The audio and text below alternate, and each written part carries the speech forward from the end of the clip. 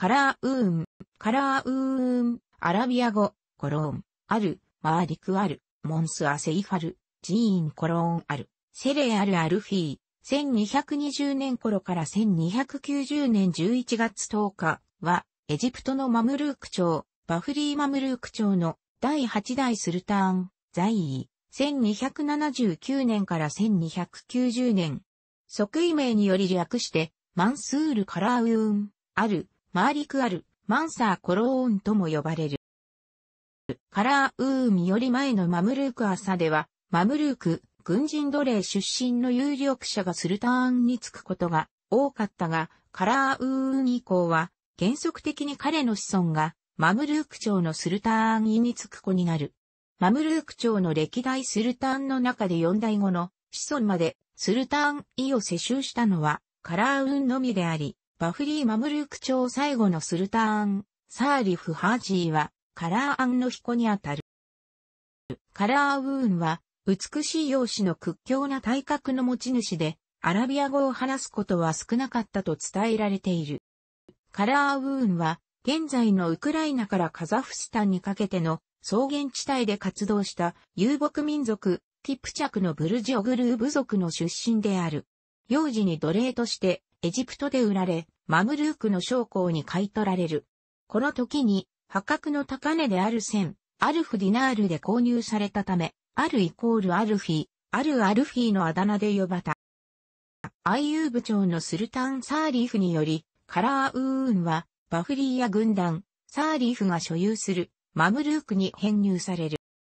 サーリーフの死後、カラーウーンは、バイバルス、アイバク、アクターイラ同僚のマムルークと共に、アイユー部長のスルタン・トゥーラーン、シャーの暗殺計画に加わった。マムルーク朝の建国後に、バフリーヤ軍団の有力者であるアクターイが、アイバクによって殺害されると、カラーウーンは、バイバルスと共に、シリアのアイユー部長の分家のもとに亡命した。バイバルスがマムルーク朝のスルタンに即位した後、カラーウンは彼に忠実に仕えたが、知性の末期には冷遇されるようになる。1266年にカラーウンは小アジアのキリキア・アルメニア王国への攻撃を指揮し、アダナ、アヤース、マッスイーサなどのキリキアの都市を破壊した。バイバルスは息子のバラカへのスルターンくらいの継承を望んでいたが、配下の将軍たちがバラカに心から忠誠を誓っていないことを知っており、1275年にバラカとカラーウンの娘の婚約を取り決した。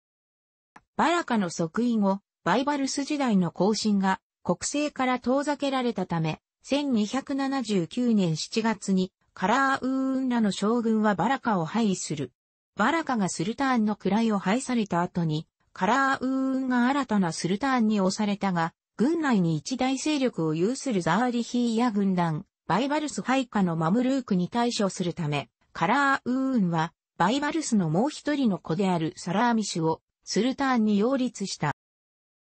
カラーウーンは、サラーミシュの摂政として、政務と軍事を統括し、礼拝のには、サラーミシュの名の次にカラーウーンの名が入れられた。カラーウーン配下のマムルークや彼の支持者が、政府の要職に配置され、カラーウーンの政敵は追放され、あるいは彼の派閥に引き入れられた。同年11月27日に同僚であるバフリーヤ軍団によってカラーウーンはマムルーク朝のスルターンに選出される。即位時点で、すでにカラーウーンは50代の半ばを超えていた。即位後は、ザーリヒーヤ軍団に変え、チェルケス系のマムルークを起用した。彼らはカイロ市内の向かった無常祭中の塔に居住したことから、ブルジー、トーマムルークと呼ばれた。カラーウーンがチェルケス人を起用した理由については、彼らが奴隷市場に安価で多く供給されていた点、彼らが屈強な体格と勇敢な気質を備えていた点が挙げられている。カラーウーンの知性の末期に、ブルジー・マムルークの数は3700人に達していた。カラーウーンの即位直後に、ダマスカスの知事シャムスティーン・ソンコル、赤毛のソンコルが、カラーウーンに反乱を起こす。ソンコルの反乱には、廃位されたサラーミシュ、一部のバイバルス配下も加わっていた。カラーウーンは、ソンコルの反乱を鎮圧したものの、ソンコルは、モンゴル系国家のイルハン朝のアバカハン援助を求め、マムルーク朝内部の分裂を後期と考えたアバカは、1280年10月にシリアに侵入し、アレッポを破壊した。1281年5月、カラーウーンは、領地の付与を条件に、ソンコルと講和する。カラーウーンは、ソンコルと講和した後に、モンゴル軍のシリアへの進軍を知り、ソンコルの党派を加えたマムルーク軍団、ハマーの愛遊部長の王族などを加えて、迎撃に向かった。アバカ率いる本体、アバカの弟、モンケティムールの部隊、キリキア・アルメニア軍で構成される、モンゴル軍は、進軍を続け、1281年10月31日に、両軍は、ハマーホムス、ヒムス間の平原で対峙した。マムルーク軍は戦闘で勝利を収めるが、多くの将校と市長を失った。戦勝後の追撃中、ソンコルがモンゴルと内通の約束を交わした書簡が、カラーウーンのもとに届けられたが、カラーウーンは、書簡を水に入れて、字を消し、書簡が誰の目にも触れないようにした。勝利したカラーウーンは、ダマスカスを経て、エジプトに帰還し、カイロに凱旋した。アバカの死後に、イルハン朝の藩に即位したアフマド・テグデルは、イスラームに改宗したモンゴル人であり、マムルーク朝に同盟を申し出た。カラーウンは戸惑いながらも、同盟の要請を受諾した。1284年に、アフマド・テグデルは、廃位され、ヒイスラム教徒であるアル軍が、イルハン朝の藩となったが、アル軍在位中に、マムルーク朝の軍が、イルハン朝の領土に侵入した回数は一度だけだった。ホムスの戦いの後、カラーウーンは中東の十字軍国家との戦争に専念する。西欧諸国から聖地奪還の熱気が冷めていく中、1282年にカラーウーンはエルサレム王国、聖ヨハネ騎士団、テンプル騎士団、ドイツ騎士団と協議し、シドンからカイサリアに至る沿岸地帯の分割休戦協定の延長を決定した。さらに1285年にティールスの女領主とも休戦協定を結んだ。西欧諸国から十字軍勢力への支援を不安視したカラーウーンはシチリア王国、ジェノバ共和国と同盟を結んだ。休戦協定の延長後、カラーウーンは中東に残る十字軍勢力の都市の中で協定の対象から除外されていた都市に攻撃を加えた。マムルーク朝は1285年に聖ヨハネ騎士団が領有するマルカブを占領し後、1287年4月末に交易港、ラタキア、ラオディセを攻撃した。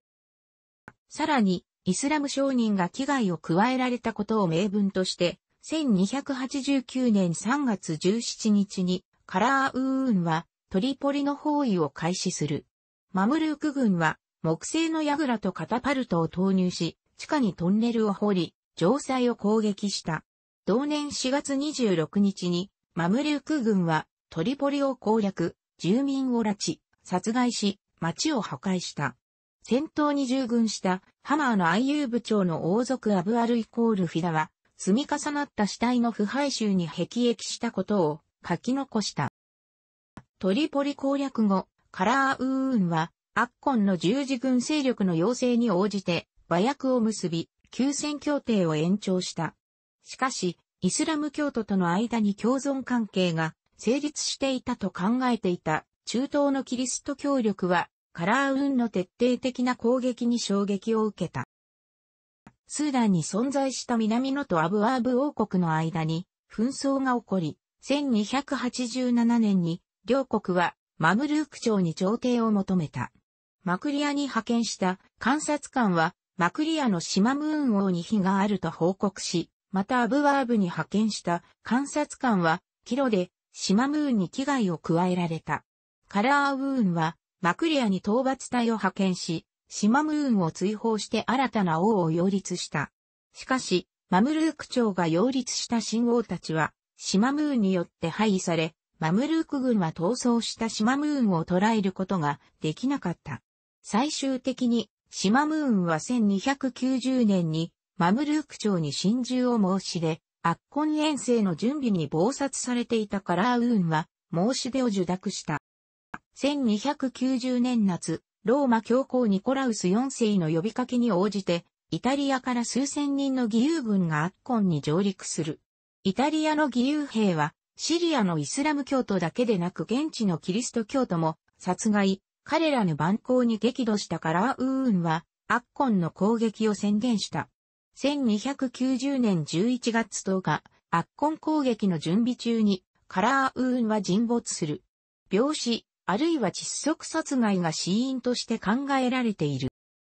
即位直後の1280年10月に、カラーウーンは、長子のサーリフを後継者に指名していたが、サーリフは、カラーウーンの死の直前に急死していた。サーリフの弟であるハリールを新たな後継者とする手続きがされようとしていたが、カラーウーンは、ハリールの粗暴な性格を敬遠し、彼がサーリーフを毒殺したと疑っていたため、後継者への指名を拒否していた。カラーウーンが没した時も未だに、後継者は決定されていなかったが、最終的にハリールがスルターンに即位した。カラーウーンが達成できなかった十字軍国家の制圧は、ハリールの知性に達成される。国家機密やスルターンの意思を表す文書を司る文書庁はこれまで大臣の管轄下に置かれていたが、カラーウーンは独立した成長として改変した。カラーウーンの知性の末期には、キリスト教徒は政府の要職から排除された。カラーウーンの知性には多くの建築事業が実施された。カイロ市内に総合病院、マドラサ、神学校などからなる巨大な複合施設群を建設し、その中心部にはエルサレムの岩のドームを模したボビオンが存在していた。施設群の中心である総合病院、あるイコールマーリスターンあるイコールマンスーリは、カラーウーンが建設した施設の中で最も有名なものに挙げられている。病院には、隔離病棟、実験室、薬局、浴室、調理場、貯蔵室が設けられ、年に数百万デルハムの収入を得られる枠府、寄進財産を有していた。病院が建設された経緯については、カラーウーンが戦痛でダマスカスのヌーリ病院に入院した時に暗示を受け、回復後にカイロにも同様の総合病院を設置することを制約した伝承が残されている。病院は身分に関係なく利用することができ、入院患者以外に外来の患者も治療していた。このような経緯でカラーウーンは病を回復させる人物だと信仰されるようになり、病人たちは彼の母病に保存されている衣服を触って回復を祈願した。1283年にはエジプトのかつての穀倉地帯であるブハイラ地方の再開発が行われた。国内のアミールとその配下の騎士たちに仕事と報酬、食料が割り振られ、10日間の工事でタイリーや運河が完成した。